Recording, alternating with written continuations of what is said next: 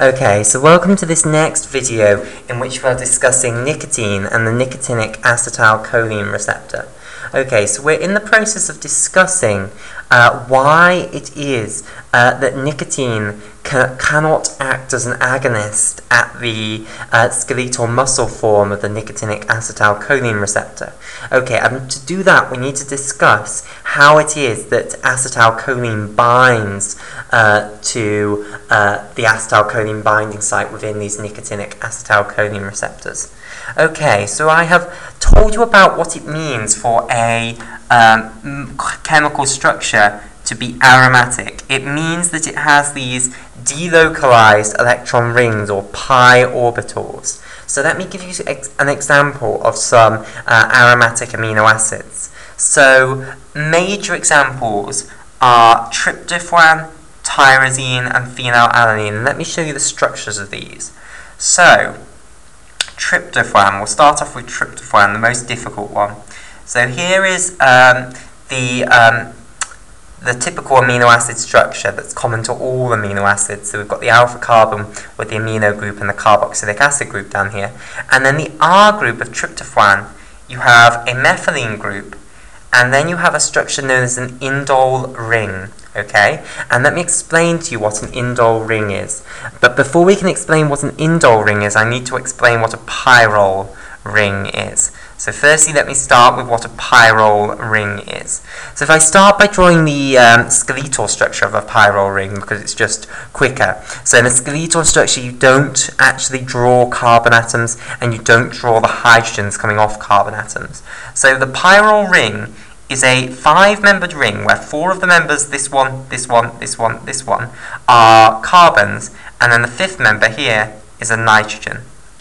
Okay, so you have these four carbons here, a nitrogen here, you have a double bond there and a double bond there, okay, and you also have a hydrogen off the nitrogen, which you have to show.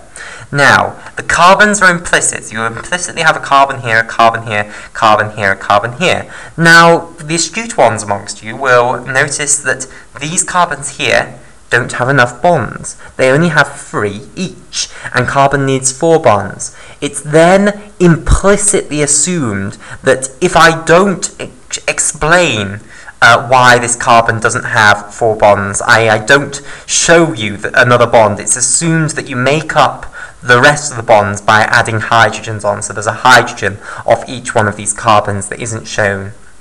Okay, so that's the pyrrole ring here. Okay, and now let me show you the structure of the indole ring. Okay, so the indole ring is the pyrrole ring with another ring added onto it, another benzene ring added onto it. Okay, so we'll start off by redrawing our pyrrole ring here. Okay, there we go. Whoops. And then we're going to stick a benzene ring off the side of this, which is a six-membered ring. And I, remember, I need to put the double bond there and there. And then the benzene ring, it's already got this double bond here, but then it also have a double bond here, like so. And then I'll have to put the hydrogen off the nitrogen. Now, Again, we draw the structure as though it's alternating double and single bonds, and you have loads of these alternating double and single bonds. The truth, the actual truth of this structure is rather more complicated. These additional bonds here, they won't be really associated with that bond. Uh, they won't actually be sitting in between these two. Instead, what will happen is the electrons here will be put into delocalized electron rings above and below uh, the plane of this indole ring. So this indole ring does indeed have an aromatic structure. Okay, we'll now put that on the side of our amino acid and we're now going to have to draw it in molecular form because it will look rather strange if I just stick a skeletal structure on a structure that was previously molecular. So let's draw it atom by atom now. So carbon, carbon, here's another carbon, here's another carbon, here's the nitrogen, bound to that carbon, so that's the pyrrole ring, this portion here. And now let's stick this benzene ring on the side. Okay. Oh, and I should have said something when I was discussing the aromaticity of benzene. These delocalized rings are why often people will draw benzene rings like so. They'll draw a hexagon and then they'll just put a circle in the middle to show benzene, and the circle is denoting the delocalized ring of electrons.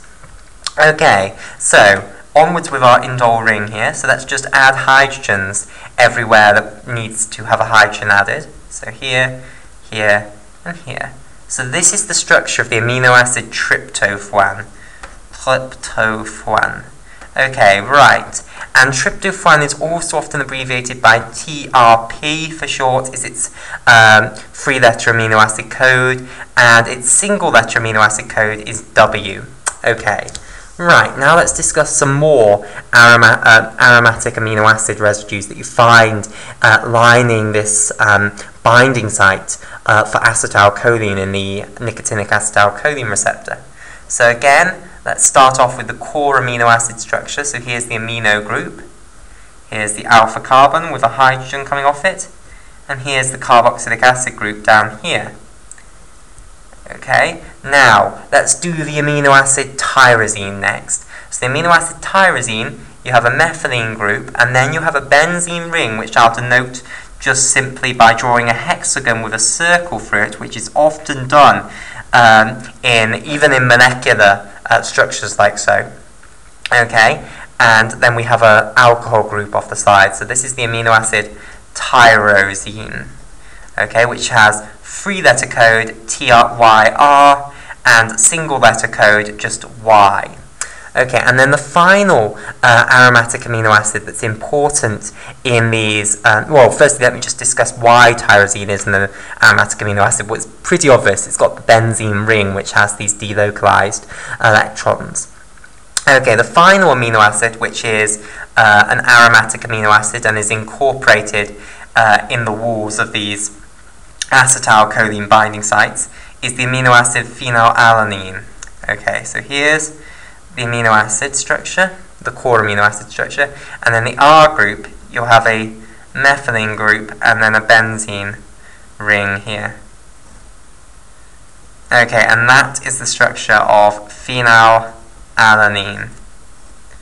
Okay, which is often just abbreviated to PHE, phe, like so, or also it's abbreviated, its single letter amino acid code is F. So this is its uh, three letter amino acid code, this is its full name, and this is its single letter amino acid code. Right, so all of these amino acids have aromatic structures. They have these delocalized rings. Now, why is this important? Well, basically, there is an interaction known as cation pi interactions. Okay, and I think I better show this on this drawing up here that I had. So basically, we have these delocalized electron rings above and below aromatic structures.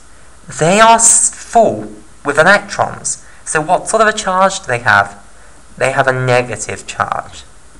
Okay, so these delocalized rings serve as um, centers of negative charge in molecules. So if you had a positively charged species, known as a cation, so cation is just the name for a chemical species which has a positive charge. Now I'm drawing it as though it actually is an ion, but uh, well, I'm drawing it as though it's a single atom ion, i.e. maybe a sodium ion or something, but it could in fact be any molecule with a positive charge. Then that will interact very nicely with these delocalized electron rings which have a negative charge. And this attraction between the negative charge of the delocalized ring and a cation is known as a cation pi interaction. Now, let me show you the structure of acetylcholine, and then I can show you that it's a cation, basically. So, can we squash this in down here? I think we, um, no, we'll get another piece of paper. Okay, right. So, acetylcholine structure then. Acetylcholine.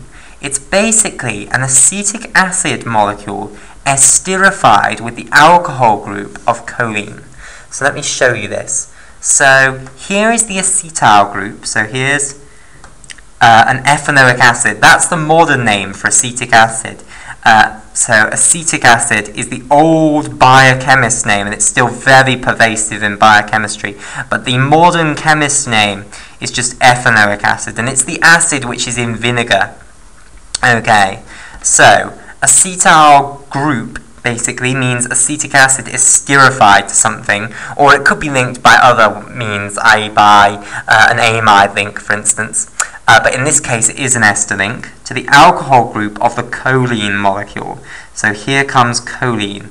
Choline has an alcohol group here, and then an ethyl group after that. So here's this two carbon structure, and then on the end it has a nitrogen, which has three methyl groups coming off it, like so.